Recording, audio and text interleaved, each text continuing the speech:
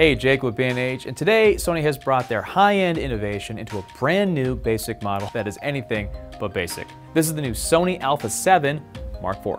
With this new release, Sony has opened the door to a broader spectrum of creators who can now access and use the extraordinary tech from Sony's flagship camera, the Alpha 1. Sony has basically taken the a7 III, a camera loved for both its stills and video performance, and upgraded its core features and even added some more video-specific functions that make it an even better hybrid shooter. Some highlights include a newly developed 33 megapixel Exmor R CMOS sensor, the latest Bionz XR image processing engine, advanced AI-based autofocus, 10-bit 4K 60p internal video recording, outstanding operability for both photo and video, and on-the-spot streaming and sharing of high-quality content. So if you're a growing content creator who needs a fantastic hybrid photo video streaming camera that offers amazing image quality and fast sharing of content, this is an upgrade you'll definitely want to consider. So let's roll. Let's start with photography. As mentioned, the a7 IV offers a new imaging experience from the latest imaging and processing engine, a 33 megapixel backside illuminated CMOS image sensor paired with Sony's flagship class processing engine, the Bionz XR, that is found in both the A1 and the a7S III. Now, just like the A1, the a7 IV provides flagship class image quality. We're talking 15 stops of dynamic range, consistent and accurate color reproduction for smooth skin textures and tones that are realistic and healthy looking. Native ISO range is 100 to 51,200, but it can be expanded to 50 to 204,800 ISO for stills or 100 to 102,400 ISO for movies. Creative looks are still supported in still and movie mode with 10 types and 8 items of selectable parameters. So if users have a certain look they always like to shoot in, they can adjust accordingly and the look will be baked into their image for faster uploads to social media. The a7 IV's IBIS has been slightly upgraded from the previous a7 III to 5.5 stops of in-body image stabilization, putting it on par with the Sony a1. The a7 IV will also take advantage of Sony's flagship class advanced AI-based AF, which offers 759 phase detection AF points, which equates to an unbelievable 94% sensor coverage, equal to the A1. Real-time tracking is now more tenacious using color, pattern, and subject distance data to process the spatial information in real time at high speed. Just like the A1, the new a7 IV employs high-level subject recognition technology to provide real-time Eye AF, not just on humans and animals, but also now on birds. If that wasn't enough, the a7 IV has high recognition Eye AF that will track and redetect subjects even if they exit and then re-enter the frame. The camera will quickly reacquire the subject's face and eyes. This works in both photo and video mode. And it should be noted that the latest AF algorithms achieve high AF precision all the way down to light levels as low as negative 4 EV in AFS mode. Using both mechanical and electronic shutter, the a7 IV can shoot 10 frames per second in high-speed continuous shooting mode. Sony has said that the scanning speed of the electronic shutter is so fast there should be little to no motion distortion. The incredibly powerful processing engine of the Bionz XR allows users to shoot 10 frames per second in uncompressed RAW plus JPEG up to 828 frames before hitting the buffer. If you shoot regular JPEG, users can literally continuously shoot up to the capacity of their memory card before ever hitting the buffer. The a7 IV has some impressive video specs to discuss. Now right out of the gate, this camera can capture full frame 4K 10-bit 422 up to 30 frames per second internally which is actually a 7K oversampling full frame readout without pixel binning, which means higher resolution and higher detail 4K video.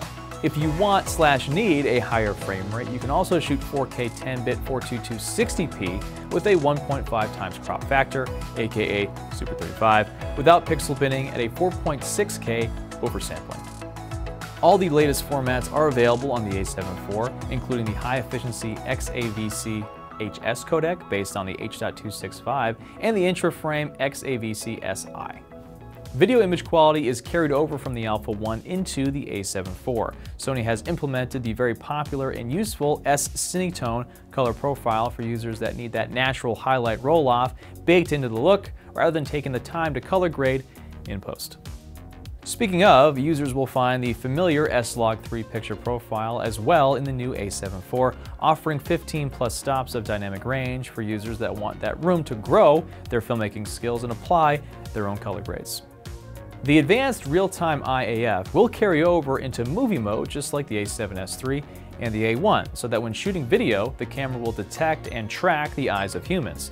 Where it actually steps up from those Sony cameras is that the real-time Eye AF will support animals and yes, birds. There's also real-time tracking with touch capabilities via the rear LCD, and users can set the speed and sensitivity of the AF transitions and shift to achieve their desired visual expression of a focus throw.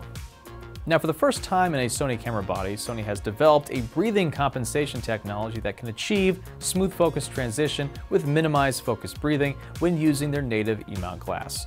For those who don't know, focus breathing is when a user pulls focus from something in the background to the foreground or vice versa, and it results in a visible change in focal length where the size of the image appears to change suddenly.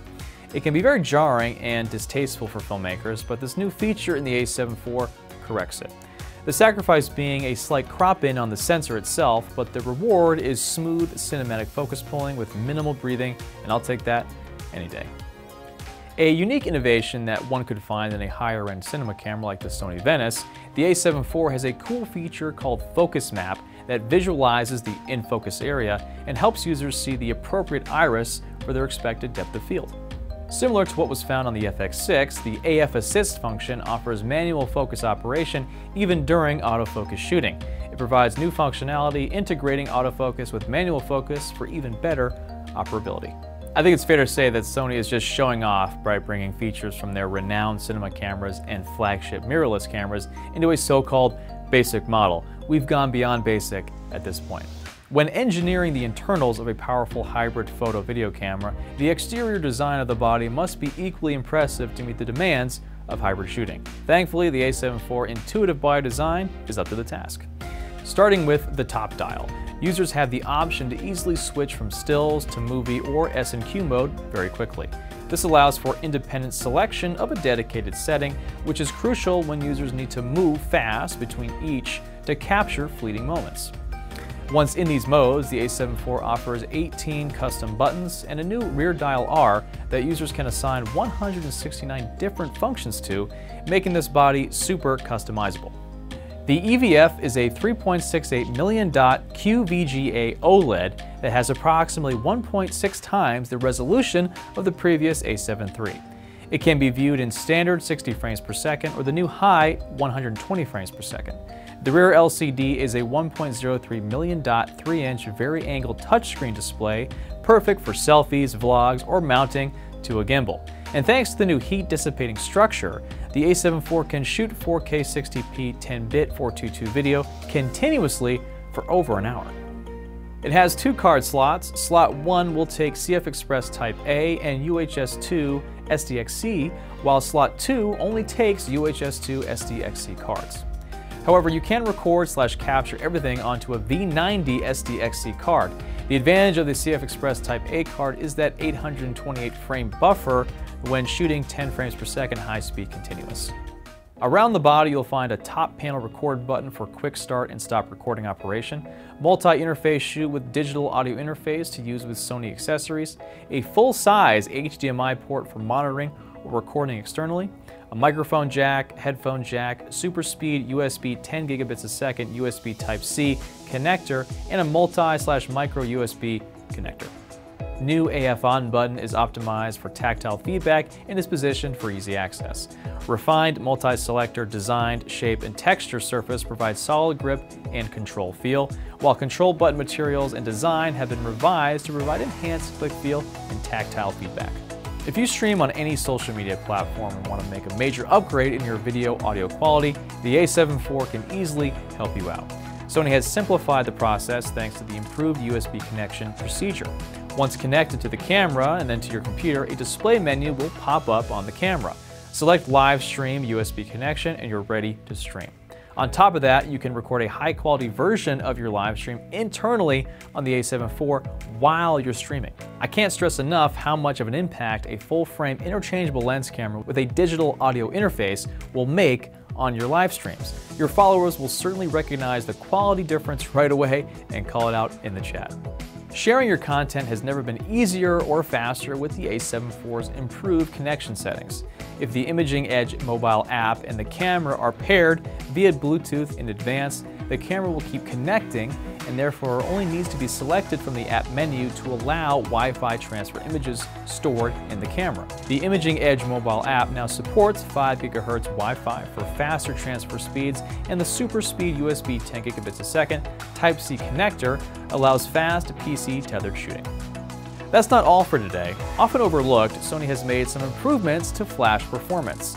The a7 IV has advanced external flash control offering PTTL flash metering for every frame in low, mid, and high continuous shooting modes. This provides stable illumination and consistent exposure for each frame even when tracking fast-moving subjects in scenes where the light may change or the angle of view is changed.